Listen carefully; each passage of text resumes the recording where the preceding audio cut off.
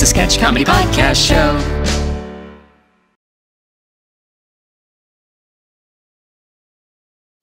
Hey guys, I am so excited. We've got this great, uh, this great script that we got. It's been an unpublished script. I'm so excited about about doing this. It, it's about a suicide prevention, and it's it's a really deep drama that I think really gets down deep core of of what makes us human. You know, it just reminds me of when I was in philosophy class in college just a couple months ago.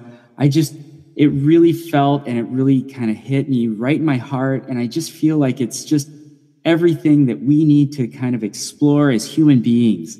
So uh, I'm, I'm so excited to be directing you in this play. And I think it'll actually touch people's lives and really just help people get through some problems. Oh, so. And I am super excited to take the lead role this time again.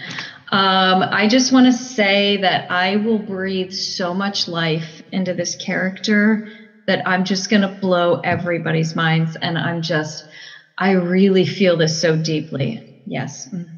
Oh, that's Gertrude. That is so great to hear. Now, if you'll do me a favor, um, we uh, we haven't yet really cast the roles, but I like that you're you're already excited about doing this lead role because it's a complex role.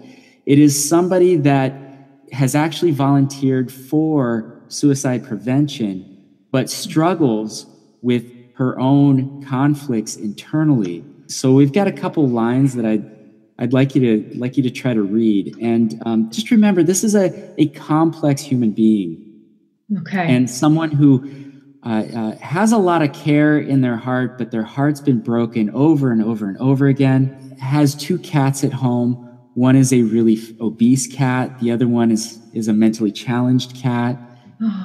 this is her family. This is all she has of her family. So these are the types of details I want you to consider as you're reading these lines. Okay. Okay, okay. I'm ready. So you have the script in front of you. Uh, if you could go ahead and uh, and just read that first line. Okay. Okay. this will be the best challenge for any volunteer job I've ever had. Yeah, that was um, very dramatic. It was very dramatic. Thank you. Yes, yeah. Um, I really felt like I encapsulated every essence of this this poor woman. Absolutely. I think that in a certain way you did. Let's try it in a, a comedic fashion. Comedic voice. Oh, okay. This will be the greatest challenge of a lifetime to take this volunteer position. I think I nailed it. Oh, That's, yeah. um, hmm. So, um, eh, outstanding, outstanding. Let's say you're going in for a tax audit. Can you go in? Can you deliver this line like you were being audited for taxes? this this will be the greatest challenge. Uh, this just doesn't feel natural to me. I, I've never been audited for my taxes before. I, I just. I, I'm sorry. I'm sorry. It, I, I need to draw from your own personal experience. Yes, please. Here's what I would like you to try next. Okay. I would like you to do it if you were in an airplane and the door blew off of the airplane and it was creating a vacuum within the airplane. Can you oh. deliver the line in that way?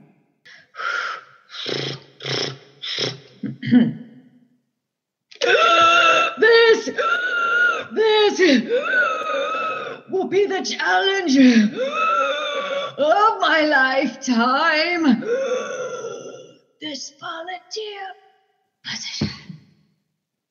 All right, so I'm thinking maybe what we'd like to see is can you do it in the style of a robot speaking to a completely alien race.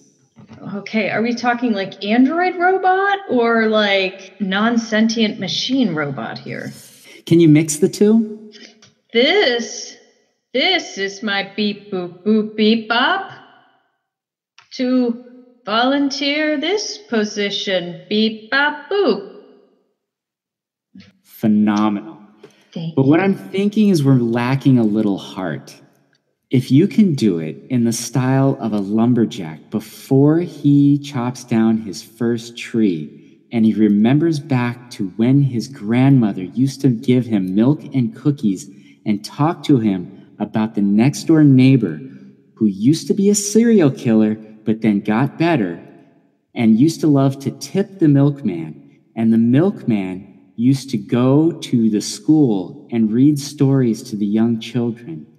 And the teacher used to have an affair with that milkman, how the, the teacher would tell her husband that she was leaving him for the milkman. Can you do it in that style? I, I, I can't do that. That's that's way too close to my own life. I just I live this every day. What's wrong with you?